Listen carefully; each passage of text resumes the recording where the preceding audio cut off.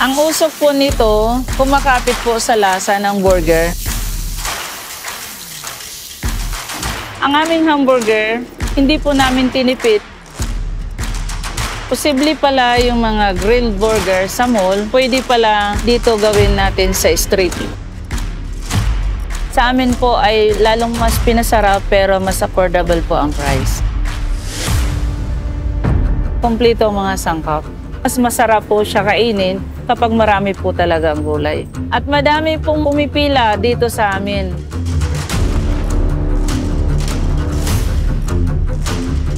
Ang aming burger ay may mga sariwang gulay na nilalagay. Iniihaw po ito at pangmasa po ito pwede pang bata, pang diet, pang senior citizen po kasi nalilis po yung oil niya.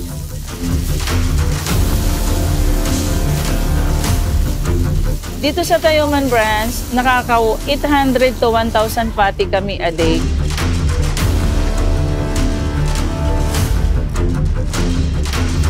Sa halagang 60 pesos, may masarap na kayo matitikman na grilled burger.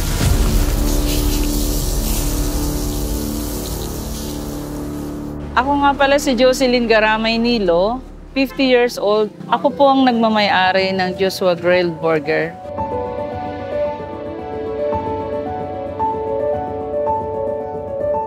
Matatagpuan ang Joshua Grilled Burger sa Along Herrera Street Corner in Quezon, near SM Lazaro, Tayoman Branch.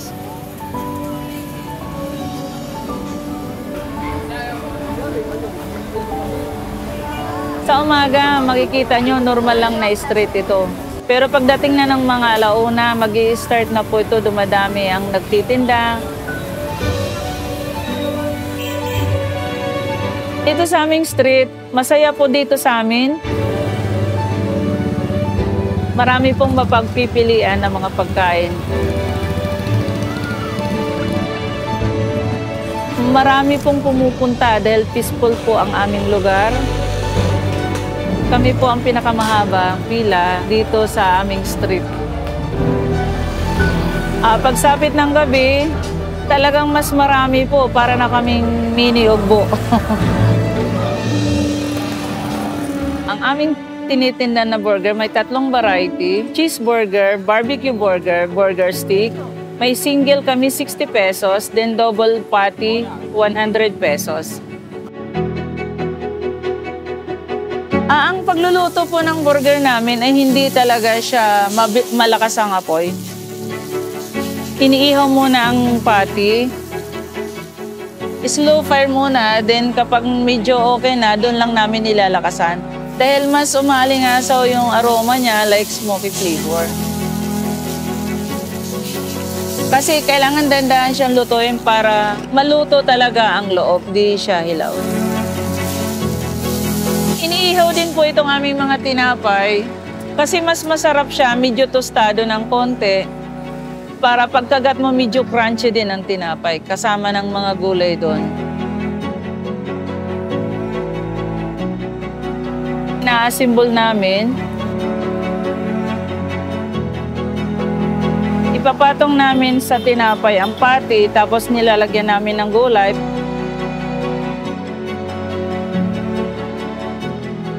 Pagkatapos nilalagyan lang namin ng barbecue sauce. Then kapag cheeseburger naman po, cheesy slices at saka cheesy sauce lang po ang nilalagay namin.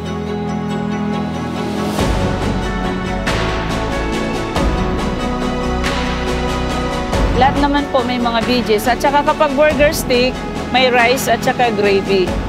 Iyon naman po ang pinaka-sauce niya sa isang burger stick na isa sa mga variety namin tinitinda. Ang aming burger stick, sir, kapag single, 60 pesos. Kapag double naman po is 100 pesos.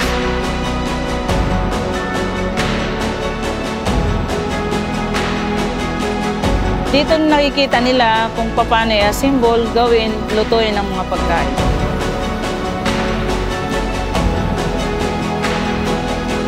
Sa halagang 60 pesos, sigurado po mabubusog na po kayo.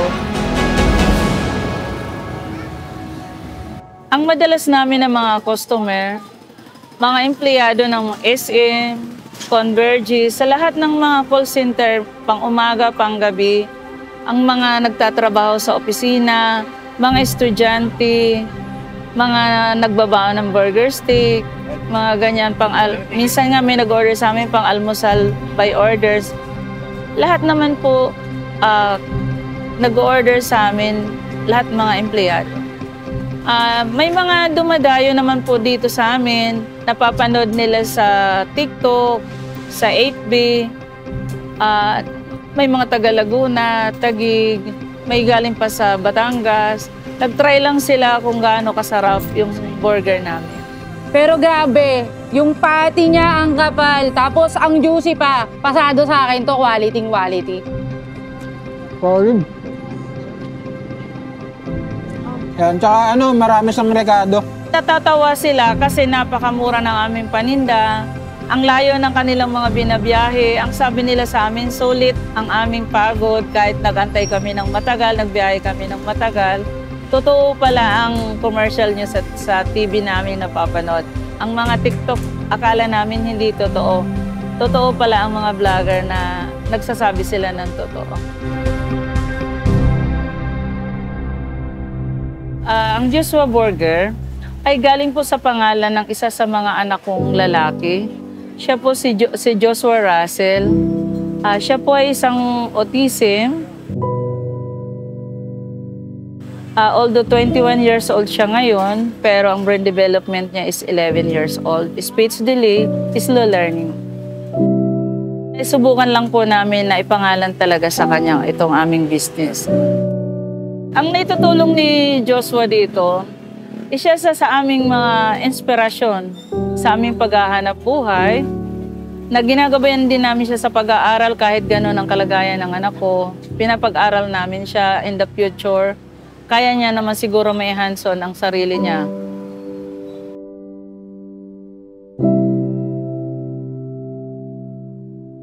Karinteriya din kami. Although dati may hardware kami, then nag-stop operation kami. Marami rin kaming pinagdaanan, pero sabi nila mag-try and try until you succeed.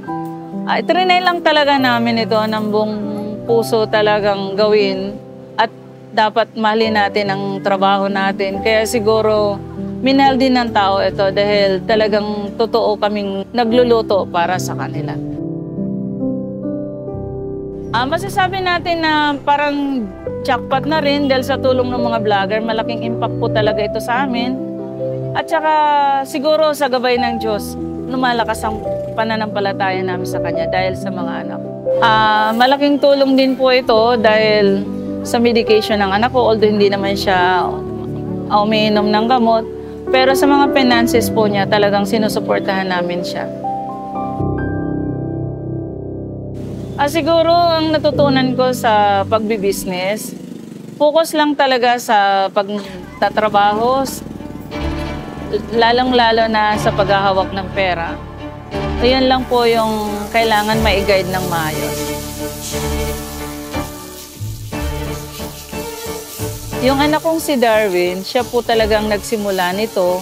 Then tinuloy ko na lang po dahil nag-start din siya ng trabaho.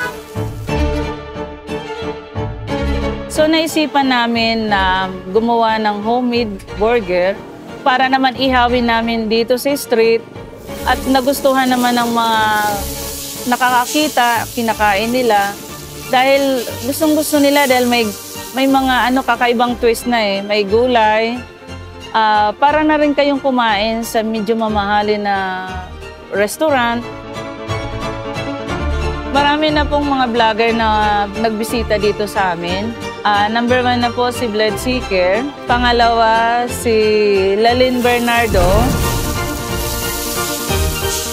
Ang sabi ni Miss Lynn Bernardo, tama lang ang lasa, masarap, simple, at maayos po. Then, na-picture din po kami sa 24 oras.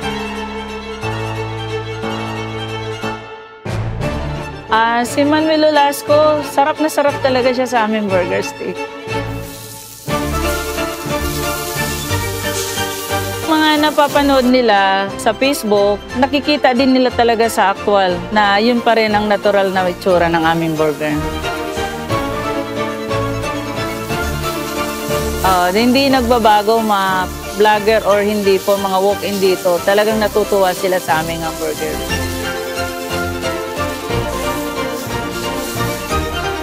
Ah, ang nakakasama namin dito, although kami lang mang magpapamilya, ang aking mga anak, nagtutulungan kami, at saka yung aming mga tao.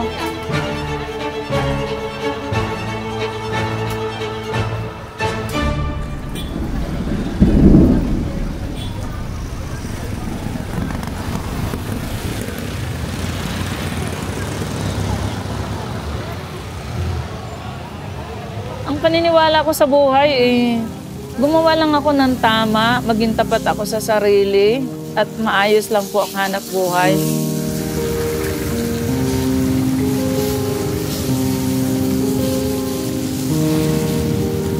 Ang pinakasikreto lang siguro sa negosyo, sir, yung tapat ka sa sarili mo. Wala po kayong inaapakan na kapwa. At saka, ang center talaga yung panalangin sa Diyos everyday. Kailangan gawin ay uunahin muna po natin ang prayer sa Diyos bago tayo magtrabaho. Kasi anuman po ang pagsubok, malalagpasan natin. Kahit sa anumang negosyo, kaya natin lahat yan basta may, may connection tayo sa Diyos.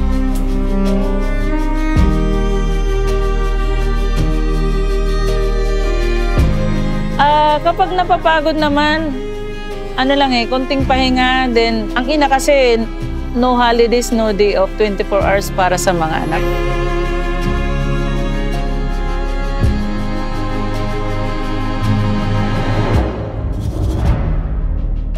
Sa pagluluto ng hamburger, kailangan po, ano eh, dala nyo ng pagmamahal, pagtitiis sa init, kailangan yung maluto para maihain nyo rin ng mas, ma- mas maganda doon sa mga mamimili.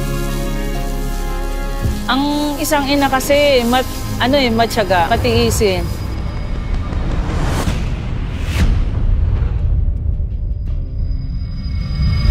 Katulad ko, kaya kong magtiis hanggat kaya ko para sa mga anak ko. Ano man ang mangyari para sa mga anak, ginagawa talaga ng isang ina ang pamamaraan para mapabuti.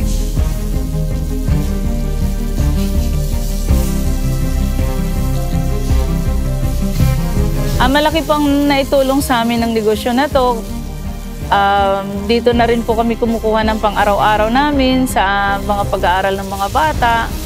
Simple lang ang aming pamumuhay at nakuntento naman po kami sa aming kinikita.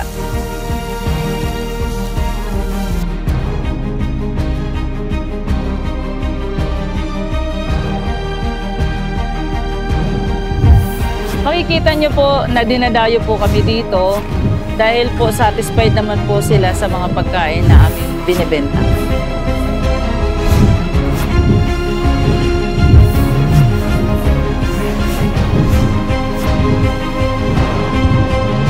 Ah, ang dasal sa akin, siya yung susi ng aking buhay para gumana uli. Kasi ang paniniwala ko talaga, sabi nga, ang lahat ipagkatiwala lang sa Diyos. Siya na po ang bahala. Kasi very blessing po talaga itong nangyari. Hindi ko talaga sukat akalain. Itong negosyo na to, akala namin biro-biro lang. Ito pala talaga ang bubuhay sa aming pamilya at marami din po kaming matutulungan.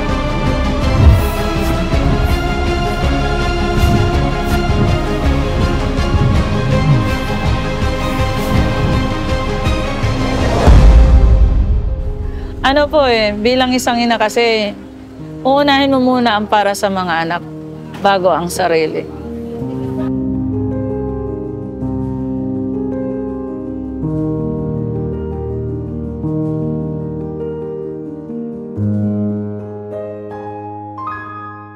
Wala pa po kaming one year, ngayon pa lang pong February, pero may limang branch na po ako. Opo, at saka nakabili na rin po kami ng aming pang-araw-araw na aming masakyan, panghatid sundo ng aming mga tao. Ah, ang iba pa namin mga branch sa may UST Pinobal, corner de los Reyes Street. Then may location pa po kami sa isang branch sa Gagalangin, Tondo, Manila. Then sa Nipa, Balot, Tondo. Then Arpapa, along de los Reyes. Sa 60 pesos, although hindi naman ganun kalaki ang aming kinikita, like fast moving naman po talaga, doon na lang kami ah, nag-aano sa dami ng bul- sa volume ng aming binibenta. Ah, actually, marami naman pong grilled na dito sa Metro Manila. Nagkataon lang siguro na mas ka- kaiba, unique po ang aming timpla sa homemade namin na burger po. Sunday, Saturday, napakahaba ng pila namin. Although mga regular days, mahaba naman po ang pila. Gawa naman po na marami na po talagang nakakapanood sa amin. Ah, humihingi lang kami ng pasensya dahil napakahaba at saka hindi po namin minamadali ang aming pagluto para magkaroon din po ng satisfaction ang mga kumakain sa amin na nagantay ng matagal, nasasarapan po talaga sila. Tahimik naman po dito sa amin. Lahat naman po dito welcome sa amin, mga dayo po. Huwag kayong mag-alala. Okay naman po ang aming lugar.